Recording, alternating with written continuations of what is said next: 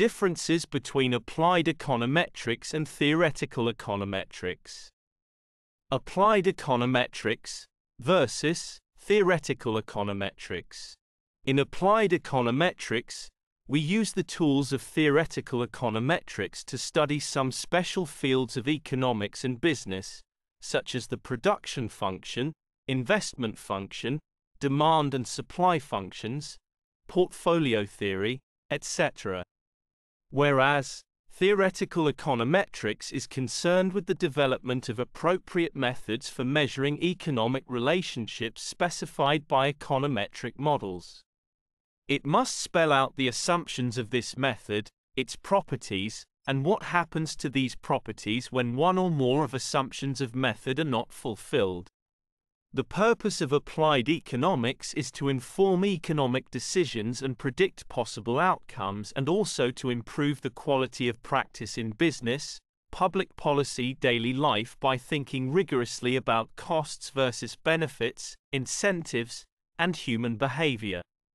Whereas, the purpose of theoretical econometrics is to investigate the properties of existing statistical tests and procedures for estimating unknowns in model and also seek to develop new statistical procedures that are valid or robust, despite the peculiarities of economic data regarding their tendency to change at once.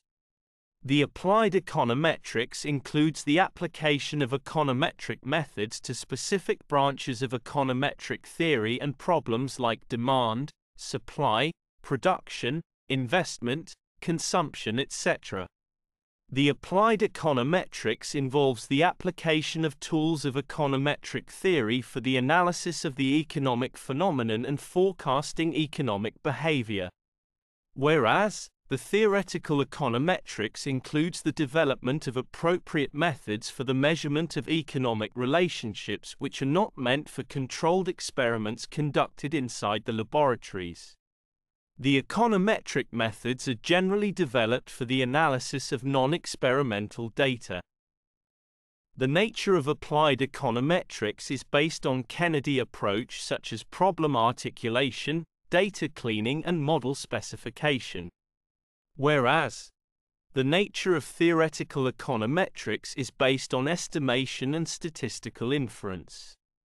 Applied econometrics relies heavily on economic theory to formulate the hypothesis, whereas theoretical econometrics relies heavily on the likes of mathematics, theoretical statistics, and numerical quantities to prove that the new procedures have the ability to draw correct inferences. Applied econometrics mainly focuses on dealings with the topics of production of goods and their productivity, demand for labor, arbitrage pricing theory, demand for housing related issues. Whereas, theoretical econometrics focuses on issues such as the general linear model, simultaneous equations models, distributed lags, and ancillary related topics. Most of these problems were encountered while working on empirical research. There are two types of applied econometrics such as classical and Bayesian.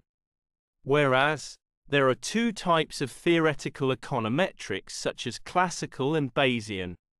In short, applied econometrics uses the tool of theoretical econ to study some special fields of economics and business, such as production function etc whereas theoretical econometrics is concerned with the development of appropriate methods of measuring economic relationships specified by economic models. Kindly subscribe my YouTube channel Thesis Helper. Thanks for watching.